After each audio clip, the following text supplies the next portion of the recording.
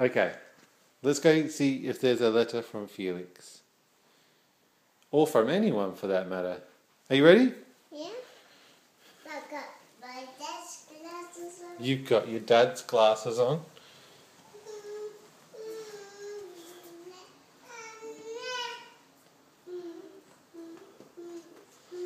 We're coming back, Nash. It's okay.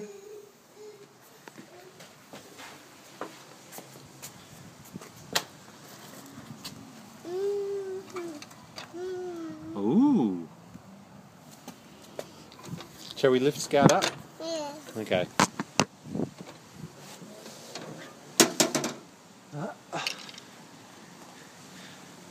We don't need these. I need these. No, you don't.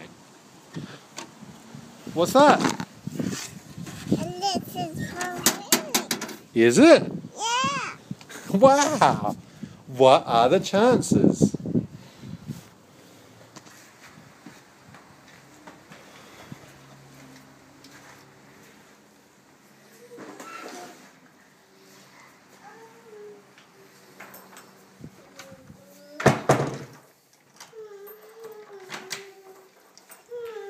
Uh oh. I had it upside down. That's pretty tragic. All right, Scout. Are we going to read this? Are we going to read it with Nash around? Yeah. Okay. Come on.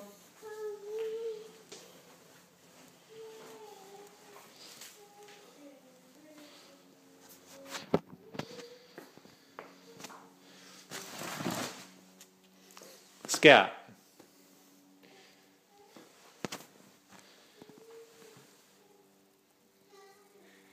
Yes.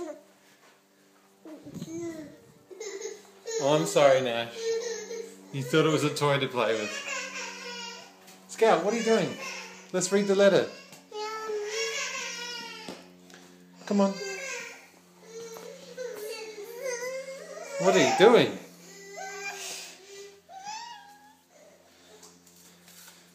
Are we going to read the letter? Oh. Wow, it's a joyous occasion. Okay. Now we've got Nashy there too. Oh. We're all here, Nash. Now, do you want Dad to help open the letter? Oh, Let's do this.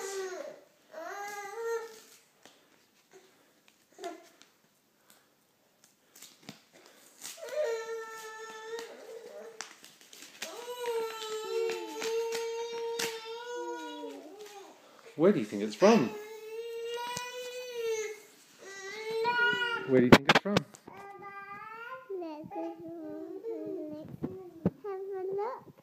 Let's have a look.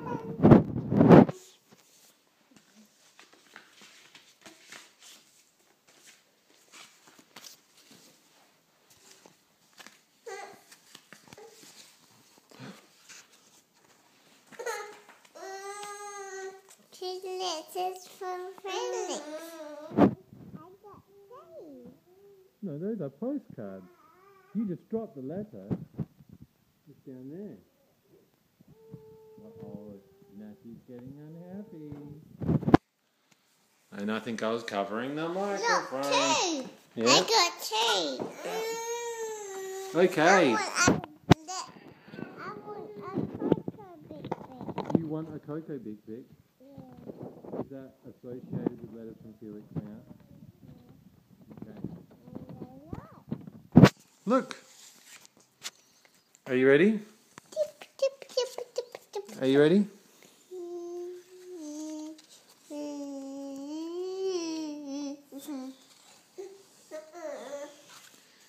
Dear Scout, hello from beautiful Switzerland, sometimes called Helvetica. Hel- Helvetia?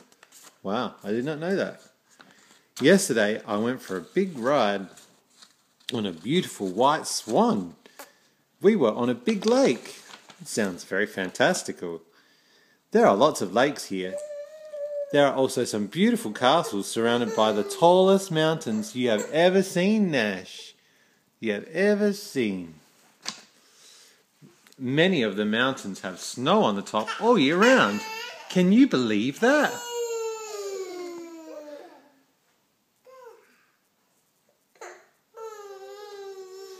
Scout, can you pick up something for Nash to play with over there? Maybe the phone. Can you give it to him? Over there, Scout. On his mat.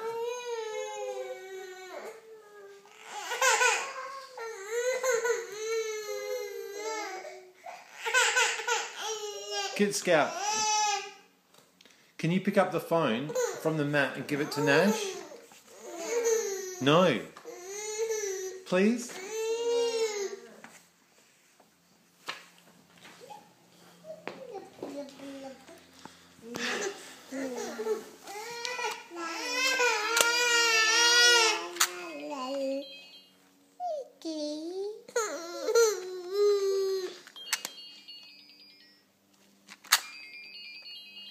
There you go.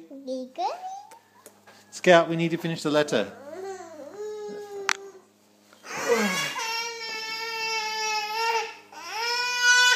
Okay, we're not finishing the letter. No, we will finish this letter.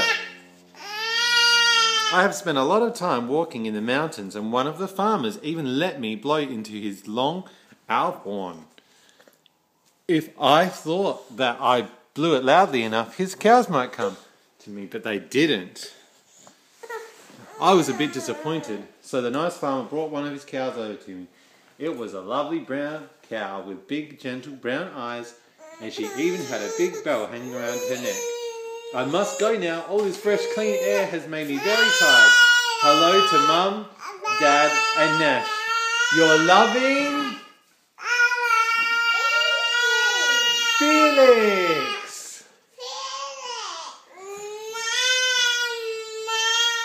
Okay, there we go.